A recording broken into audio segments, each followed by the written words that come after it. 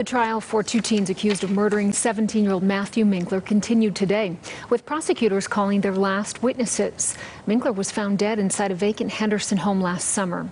Reporter Orko Manna was inside the courtroom, tells us what occurred.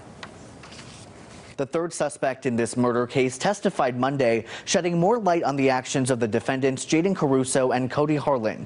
The teen also described his role in Matthew Minkler's death last June. He's a juvenile in custody, so we will not be showing his face or using his name. He said he showed up to the vacant Henderson home where this all happened after Minkler was killed. He testified that Caruso said they needed to move Minkler's body, so the teen helped put Minkler in a closet. The teen also testified that Harlan checked Minkler's pockets, which were turned out when police later found the body. He says Caruso initially told him he didn't mean to do it. What was the conversation? That Jaden killed him, that he accidentally killed him.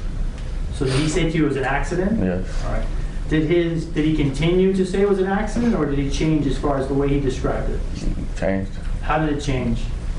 That it wasn't so much as an accident. Henderson police detectives also testified Monday the department's computer crimes unit looked through the suspect's cell phones. That's where they found graphic Snapchat videos of Minkler's body. Police also say Minkler's phone was in bad shape. The front had extensive damage.